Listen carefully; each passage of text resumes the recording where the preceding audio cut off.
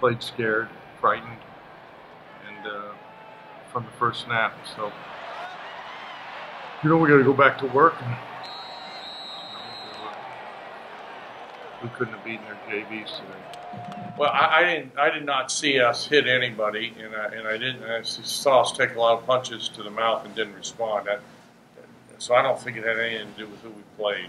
Guys kind of got down. I mean, they, there's those that sequence there. And they, we, you know, offense would, you know, turn over the ball or lose the ball real fast, and they would score quick. I think guys kind of got down, and uh, that's something that we can't do against. I mean, against really anybody.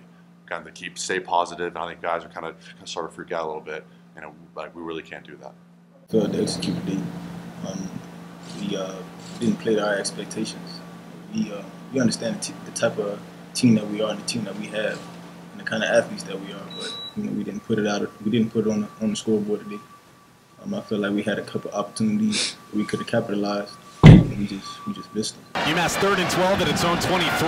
Frohnapfel a shotgun snap, throws it over the middle. It's caught. Tajae Sharpe in space, and he puts on the afterburners, and Sharpe is gone. Tajae in for the touchdown. And how about it? 77 yards. For us, we expect to go into every game and win, and that's something that going every week we prepare to do so. I mean, there's the whole thing of you know the moral victories and all that stuff. I said after after one of the games that there was no moral, moral victories. I mean, there's improvements here and there for offense and defense, but yeah, I mean, we're still in four. There's nothing we can have back from that. We should have been two. We should be two and two for sure, and um, that's something that, that we can't get back, and we have to learn from those mistakes and not let not let it happen again.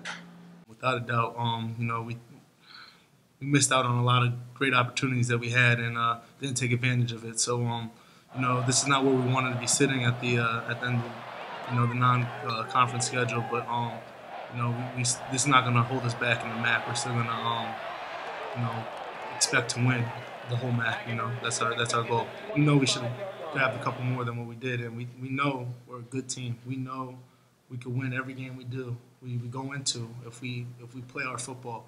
So you know, and uh, last year, the year before, you know, we didn't have that confidence of going into the MAC saying, "Oh, we're going to win every game." You know, we came into there just you know, uh, hopefully, you know, we come out making it close. You know, this we, we expect to win here now. This is a change program, 100. percent You know, we don't just try to stay in the game anymore. We try to win, and uh, I think you're gonna the next, you know, during the MAC, you're gonna definitely see that that attitude.